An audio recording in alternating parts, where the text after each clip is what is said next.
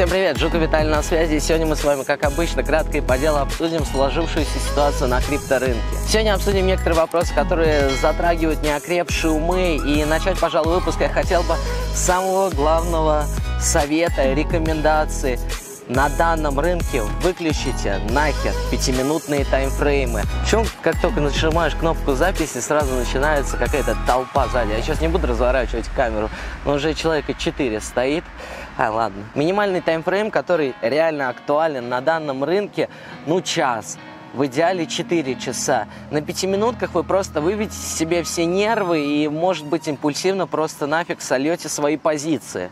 Друзья, один организационный момент. Позавчера я проводил стрим, а, было немало народу. А, я там поделился довольно большим количеством годных соображений. Данный стрим я сохранил, можете его посмотреть.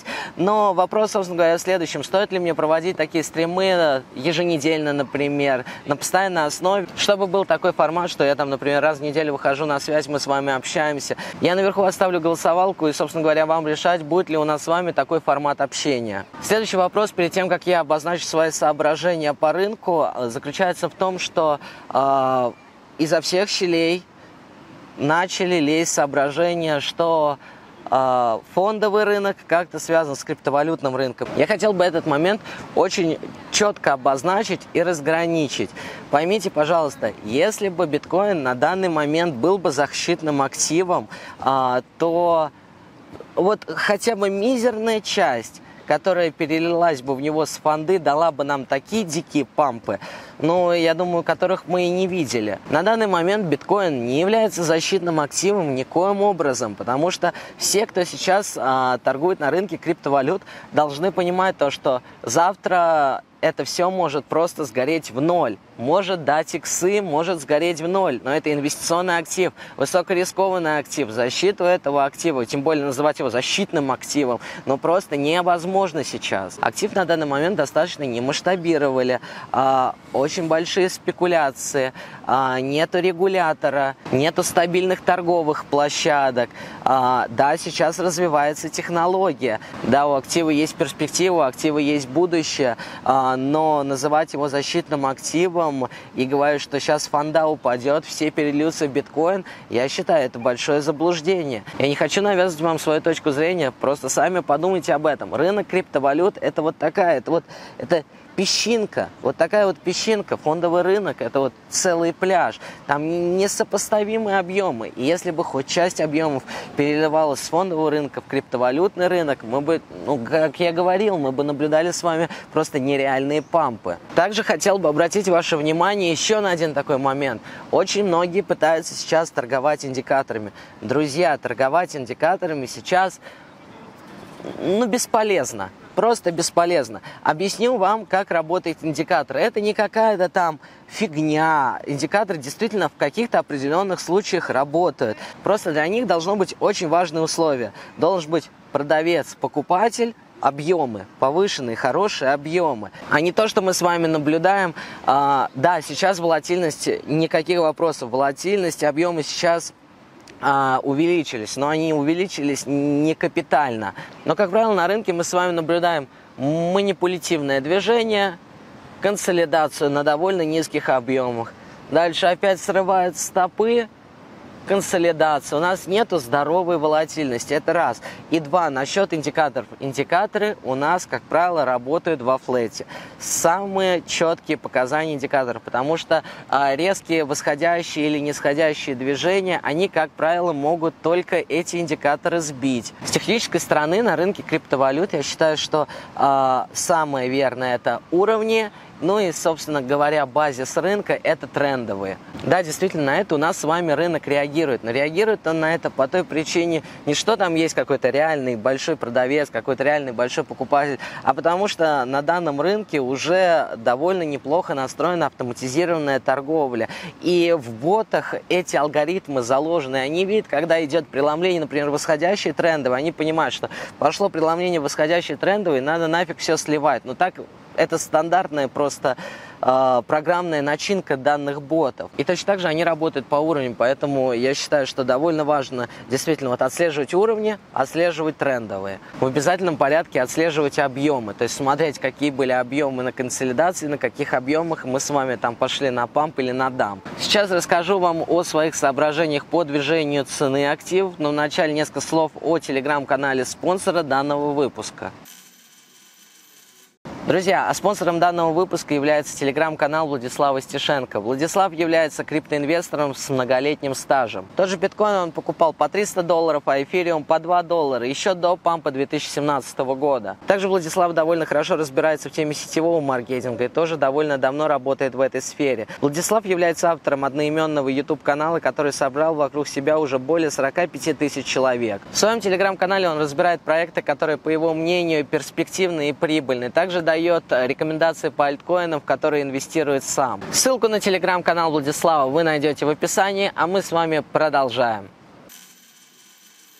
Начнем с вами ситуации по биткоину. Начнем с вами с того, что в прошлом выпуске я давал прогноз на рост. А, плюс-минус с уровня 10300, 10400. Мы получили рост в уровень 10800, далее наблюдали откат. Также в прошлом выпуске я обозначал то, что уровень 9200, 9400 нам очень навряд ли дадут. По, той причине, что э, действительно это довольно сладкая точка входа для многих лонгистов. Так, собственно говоря, оно у нас и получилось. Э, и на самом деле сейчас ситуация не меняется, и даже я сказал бы, она усугубляется в том плане, что а, сейчас можно рассматривать а, как уровень входа неплохой, где-то уровень 9750, 9800. Это локальная неплохая точка входа. И думаю, локально этого уровня нам тоже не дадут. Это все я отписал в своей закрытой группе. Кстати, если хотите присоединиться к ней, форму на вступление вы найдете в описании. Стоимость там 10 долларов в месяц.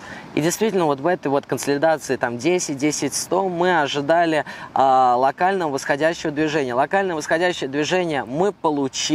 Получили до ожидаемых уровней, то есть плюс-минус минус там 10 600, а, но скажу честно, я думал, что на уровне остановимся. А, сейчас же мы получили откат до уровня 10 300, на нем стоим. В моменте уровень довольно неплохо откупает, и думаю, что мы сейчас какое-то время на нем консолидируемся, наверное, без каких-то убер, там резких движений, будем тоже локально наблюдать восходящее движение куда-нибудь в уровень 10 500, вот плюс-минус. Не могу сейчас сказать, это надо будет смотреть в моменте, будем ли мы опять пробивать э, зону 10 600, 10 800. Это я говорю про локальные движения. Глобально, конечно, я считаю, что это будет пробиваться. А, вообще, сейчас так набираются позиции, и позиции набираются довольно большие, что ну, просто нету смысла рассматривать какие-то там серьезные коррекционные движения там в уровень 8-7 тысяч долларов. А, да, технически график вроде это показывает, но эти позиции не стали бы набираться,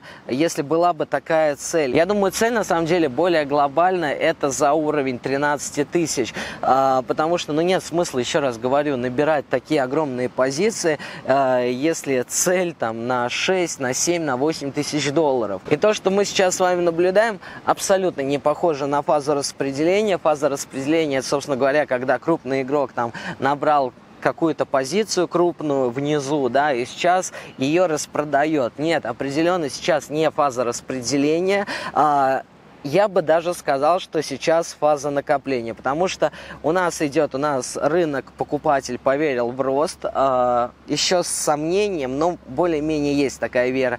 И у нас идет небольшой рост, и сквиз. Сквиз рассматриваю как набор позиций. Плюс, а, соответственно, когда мы останавливаемся на уровне, у нас продолжается какой-то сильный откуп. Да и, в принципе, анализируя график там за последние неделю-две, можно обратить внимание, что у нас очень часто рубят лонг-позиции. А, их максимально держат, что по альте, что по биткоину. И а, более среднесрочная. Среднесрочная, я все-таки думаю, это где-то две там, недели, месяц. А мы с вами пойдем на тест 12200. Почему тест 12200? Потому что в прошлом среднесрочном движении у нас не хватило сил на его пробитие. Мы не сразу откорректировались от уровня, реально были предприняты попытки на пробитие данного уровня. А, ликвидности не хватило, пошли на добор ликвидности. Собственно говоря, я вот эту всю тему и двигал в предыдущих выпусках. И думаю, вы заметили, что каких-то там убер низких уровней нам с вами не дают. Теперь обсудим с вами ситуацию по альткоинам. По альткоинам ситуация, с одной стороны, если опять же смотреть локально, она довольно шаткая. Если смотреть глобально, очень хорошая. В том плане, что э, альткоины в очередной раз нашли очень хорошую поддержку. Альткоины откупают, Сверху они зажаты а, стенками, чтобы не пробивались уровни. Также на движениях биткоина видно очень хорошо, что часть объема с биткоина также переходит в альткоины. Поэтому считаю, что а, когда альты будут стрелять, это исключительно вопрос времени. На прошлом стриме мы с вами а, как раз вот разбирали вопрос эфириума. Очень видно, вот эфириум поймал свою поддержку, там уже были объемы. Прям, я прям на стриме увидел то, что он там стоил 180 3 или 185, ну вот в этом уровне, э, я сказал, ну вы что, видите, откупает, видите, поддержка. Внутри канала сразу ждите его минимум 195. Уровень 195 мы получили. Итак, а, плюс-минус у нас торгуется во флете вся альта. И это происходит довольно длительный период времени, просто с одной целью выматывать нервы.